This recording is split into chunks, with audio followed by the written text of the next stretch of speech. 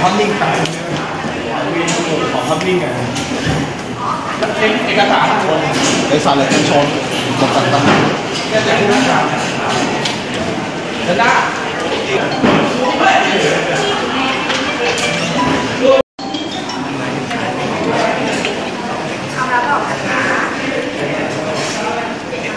เพจเฟซบุ๊กนะครับ ชื่อเฉาต้องแฉนะครับ เมื่อประมาณหนึ่งปีที่ผ่านมาเนี่ยนะครับ ทางบริษัทอุตสาหกรรมนมไทย และบริษัทในเครือนะครับ ซึ่งเป็นผู้ผลิตนมตามมะลินะครับ ได้ถูกเว็บเพจชื่อเฉาต้องแฉเนี่ยนะครับ ใส่ความด้วยข้อความเป็นเท็จมาตลอดเวลาระยะเวลาหนึ่งปีนะครับ ใส่ความว่าทางนมตามมะลิเนี่ยผลิตสินค้าไม่ได้คุณภาพนะครับมีแบคทีเรีย มีสารกันบูด benzoic acid ซึ่งข้อความที่โพสต์เนี่ย ไม่เป็นความจริงเลยแต่อย่างใดนะครับ ทางบริษัทเนี่ยจริงๆแล้ว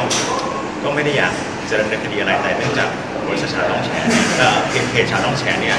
ไม่หยุดพฤติกรรมการกระทำดังกล่าวนะครับ ทางบริษัทจึงต้องมาดำเนินคดีนะครับจนถึงที่สุดต่อไปนะครับจริงๆแล้วเรามองว่าเนี่ยในกระบวนการเนี่ยมีก็คงเป็นผู้ประกอบธุรกิจนะครับ รวมทั้งมี ทีมทนายความด้วยนะครับเท่าที่สืบทราบเท่าที่ตำรวจสืบทราบมานะครับมามากระทำการดังกล่าวนะครับ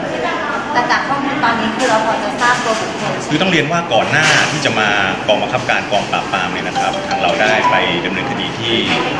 อ่ากองบังคับการตำรวจอ่าการกระทำผิดเกี่ยวกับคอมพิวเตอร์คือปอทไปแล้วนะครับ ทางปอทได้มีการสอบสวนสืบสวนระดับหนึ่งจึงพอจะทราบบุ คลบางคนได้ว่าเป็นคนที่กระทำความผิดนะครับ ซึ่งรายละเอียดของตัวบุคคลเนี่ย